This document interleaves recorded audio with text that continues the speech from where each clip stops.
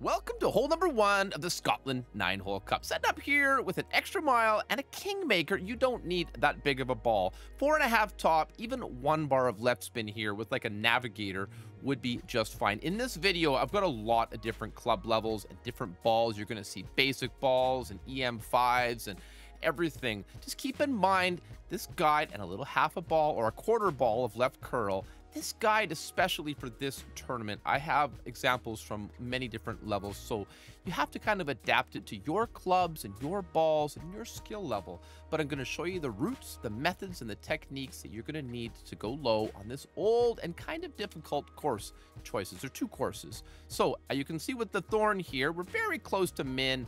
Um, and because of the headwind, I play this one at 10% mid.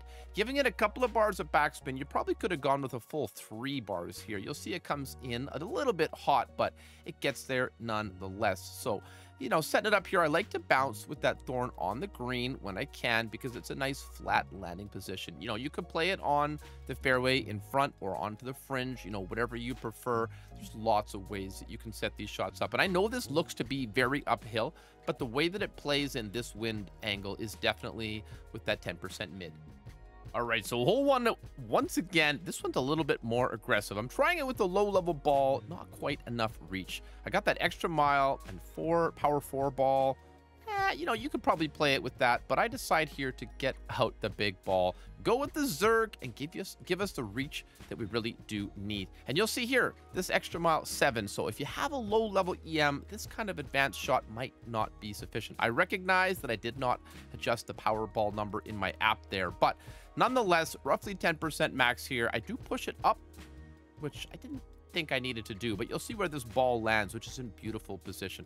About a 50% overpower and like a full ball of right curl. And if you get this one lined up just right, of course, these shots, you want to practice them first before going live with any of these shots, okay? So lands beautifully, clips that rough, rolls out. You know you can get the eagle from here. If you've got the right wind condition, this is going to be a very valuable shot to have in your bag.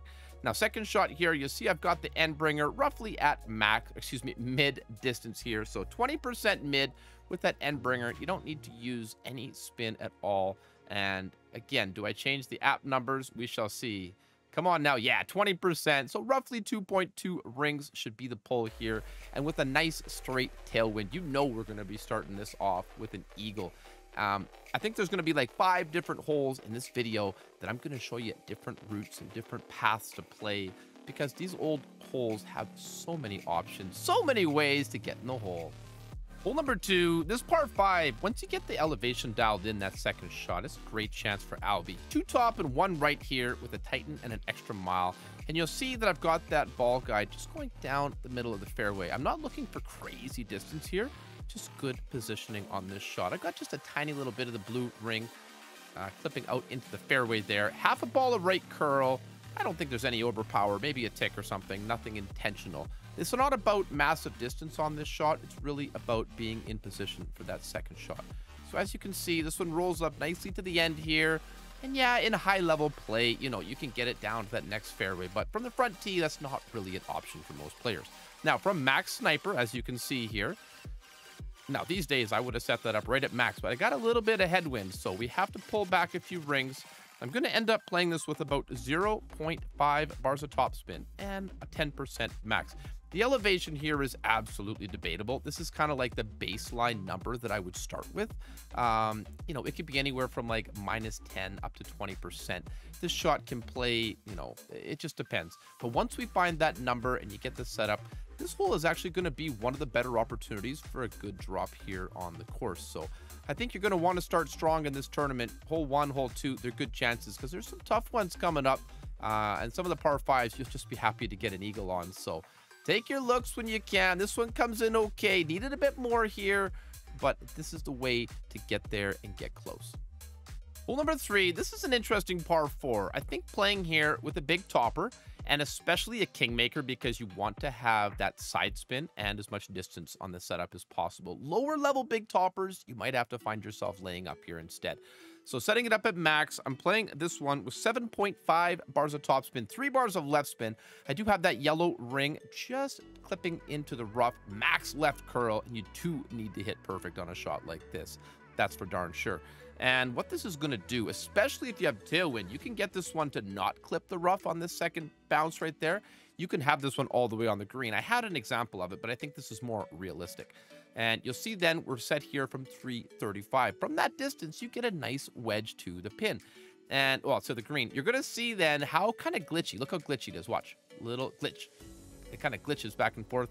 Um, I knew where to set this one up, so I didn't play with it, so to speak. But a lot of these older courses do have some glitchy greens, so I think that's something you're going to hear about during the tournament this week. That's for darn sure. We're at approximately um, max to mid, depending on the distance of your drive here. You always want to play that Endbringer rule accordingly. Zero spin on the shot. And, you know, you'll see me play a couple, well, at least one Firefly shot. I'm always going to recommend the Endbringer because it's just been so good to me. Get in the hole. Now I'm going to show you an aggressive play here. All right, so this setup was given to me by one of my viewers live during the stream. I remember that very clearly. We're going to set up here with four and a half top, two bars of left spin. The top right of that yellow ring is going to be just about touching those little pink bushes. And you see that there. Yeah, so we're going to do that. Now, I should have done a 10% max, but because we're in overpower, excuse me, headwind, max overpower, max left curl, and you're going to give it the full max left hook. And you'll see here, the end result is going to be very similar to the big topper shot that we just did. It actually comes in a little bit shorter, but otherwise you have to lay it up on that first fairway, and then you really don't have much of a chance for the second shot. But from here, we still have a nice wedge. Now, this is where I meant the Firefly. It's a level 1, so cut me some slack on this one. It's missing a little bit of ball guide. I do end up using a bit of topspin here because we are a little ways back.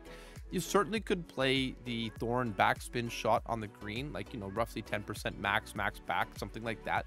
You know, this is what I meant at the beginning of the video. I'm going to show you lots of ways, and you're going to have to find the way that suits you and your playstyle best. But ultimately, I think there's some really good opportunities to get this one very close and still get that eagle even in a strong headwind. Hole number four, this first technique, it's, um, I don't know, it's interesting. I wanted to include it because if anything, it's original. Four and a half bars of backspin, two bars of left spin. We're setting up with the EM and a Titan ball here, and you can see that we're doing a rough bump to this little small fairway in the middle. Now, I don't really like this hole to begin with, and I will show you a little more conventional method the second way through here, but this is something that I think if you get the second shot dialed in, could definitely give you a better chance for the Albatross, um, even better than the right-hand side, which we'll talk about in a minute. But as you can see, just clip it out just gently into here. Now, it's no guarantee to get this one to sit down. You kind of have to have good wind and good practice. Second shot, I think you'll see what I mean though by it being a reasonable opportunity. The wind is a bit rough here, so it makes it a bit more difficult to get a clean setup. I play it with anywhere between, you know, zero to one bar of backspin, um, and I got a one bar of left spin here just to get that ball guide to trickle nicely down to the hole and give us, you know, a pretty decent look at it. I make my 10% max adjustment back before I had any of those, you know, grids on my screen. And you'll see I have to pull it into overpower here because I was set up too close to the max line. So make sure to try to hit perfect anyway. Ooh, just about. And this one should, should still come in very, very nicely. It gives it a clean look to the green, very straightforward, but that first shot can be a bit finicky. So something to consider puts us close. Now, hole number four, once again, I'm showing you where you would set up with a with a big topper and max topspin to do a little rough bump out onto the fairway over the water. Even then, if you're not enough to the right and far enough up, you can still be blocked by trees over there. I'm not a massive fan of that shot, and I decide to just go over here to the left-hand side. Not because I didn't have a big topper in my bag. I go here with just one bar of top spin, two bars of right spin. That red ring is very close to the left rough, and I make sure that my second bounce is on the fairway. So this is a tight drive. This is the kind of hole you really just need to get your eagle. Don't sweat too much about dialing in an Albie here. Do that on the first par 5 perfect away. I gave it a tick of right curl, a left left curl, just to kind of compensate for the wind and make sure that we thread that gap nicely. But this will put us in a very good position. And something to consider, I could play a horizon shot here. It's got a bit more distance compared to my lower level sniper. And, you know, that's uh, would give me a bit of an easier shot um, you know, to get it a little bit closer without having to use a touch of overpower here. So I end up using like three and a half top, two bars of right spin. If I could have played like five to six top spin uh, and two, two right spin, we probably wouldn't have had to use any overpower. A little bit of right curl just because I felt like it. And I think if I'd taken that right curl away, this one could have even dropped from this position. You be the judge. Comes in very nicely. There could be a bit of a funnel in from the top of that green here, but just get it to the green and two, get the darn eagle, and get the heck out of here. Hole number five, we're going to take a look at it from the left side first. You'll see that that wind is coming in from left to right, which will give us a half decent wind angle on the second shot. I recommend at least a navigator here. Cut that wind down. Of course, 1.4 is no threat, but in the tournament, it would be a bit more helpful. Um, like I said, four and a half top. You could add one right spin here if you had a side spin on your ball and do hit perfect. I just line it up with the center of the ball guide just down the middle of the fairway between that bunker on the left and the rough on the right. And this one is a very consistent second shot usually because you can see how flat this one actually comes in. Second shot, I play with the thorn here, 10% mid distance, and you're going to play anywhere from like zero back to two bars of backspin. I tend to normally play a thorn shot with two bars of backspin. I think I played this one with no spin. Uh, it's no crime. I know uh, our good friend Tommy likes to do that, but you know whatever works for you is really the message of this video. I want you to have the the idea of how to play the course and some really good general notes that you can get started with. Oh, speaking of notes, if you check my website erelicgaming.com, you can get free notes based on this video that you can use in the tournament and tweak according to the wins and use them for your success. So keep that in mind, always for free. Get in the hole. Now we'll play it from the right side. All right, so hole number five once again, and some people do like to try to send this one all the way to the green, but there's a bunker and a bunch of rough there.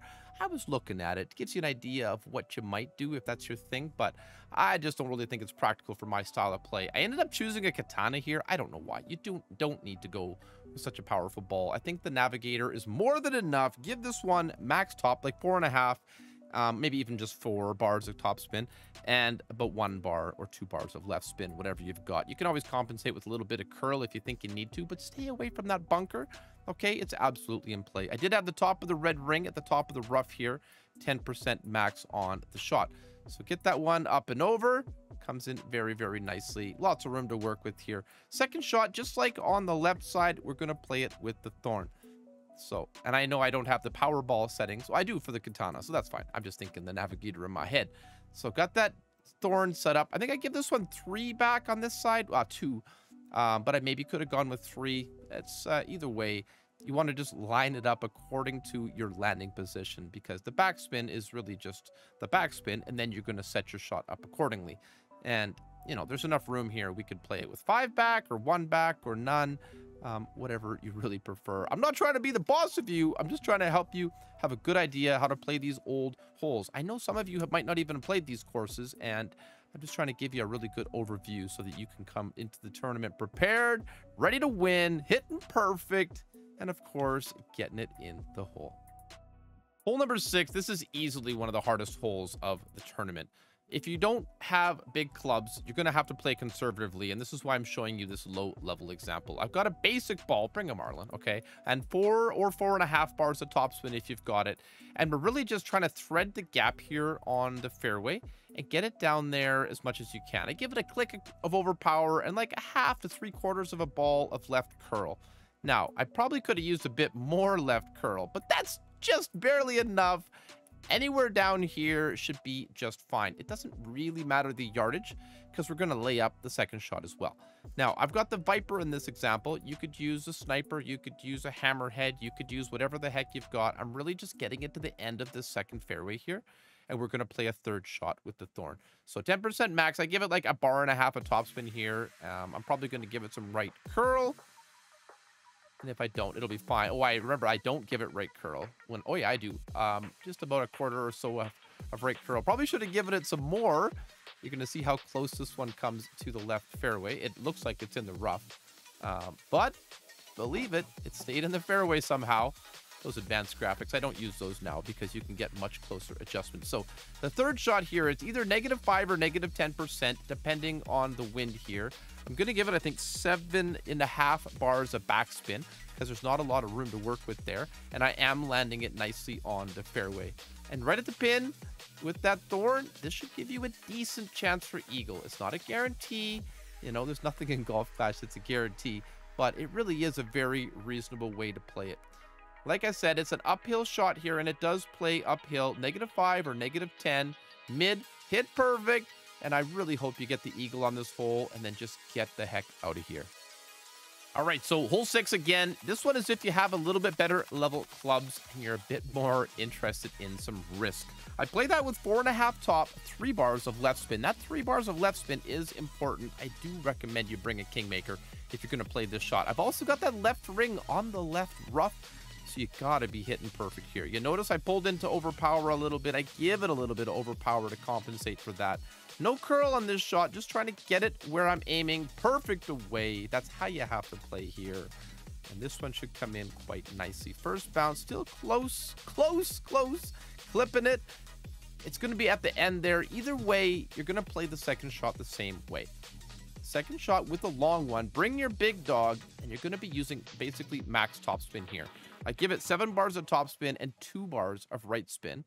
I mean, it's like two and a half, I guess, is what we actually end up with. And right there, just between that dark rough and the bunker with the second bounce rough bump. You see how this is a bit sketchy, but you'll see on the outcome of the shot that this is a viable way to play. Horizon is another good club to play here. Um, again, both those clubs, Big Dog and a Horizon, you have to hit perfect for them to be viable. Oh, and we're going to use almost maximum overpower. So again, this is super risky play here. I, I'm telling you, this hole is a bit of a pain. Just get your eagle here. Get the heck out of here. I know that looks close, but don't don't be playing around. Just just get your eagle and let's go to hole seven. Hole number seven, I'm showing you the like logical play here. This is the smart play, okay? That's three bars of topspin, two bars of side spin to the right. I don't want to hear about it in the comments, how many bars of side spin you see. This is older footage. Get over it, okay? I love you. Okay, so 10% max here on the setup, and we're at max distance. And you can see that second bounce is going to be into the rough, okay?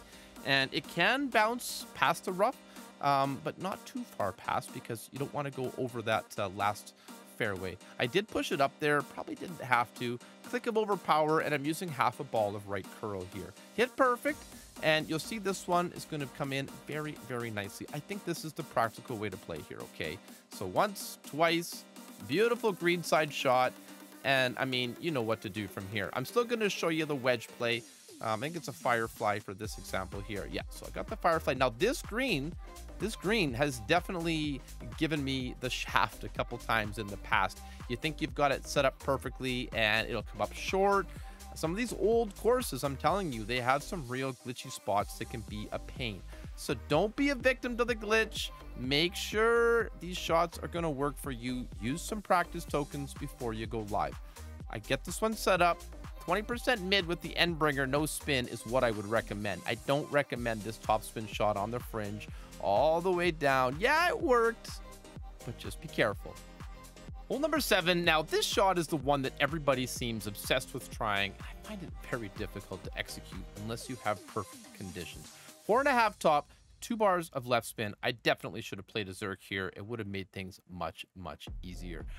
What I'm doing here is basically just going to grip it and rip it and try to get this one to hit the rough and roll out onto the green.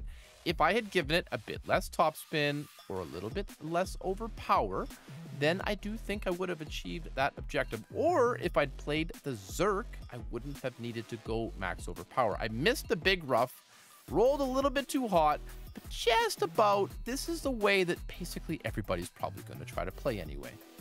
Hole 8, yet again, another par 5 where the objective for me from the front tee is just to get the eagle.